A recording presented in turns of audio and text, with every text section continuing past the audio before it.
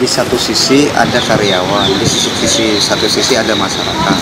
Nah, ini kita serahkan ke pemerintah. Kembalikan aja ke aturan.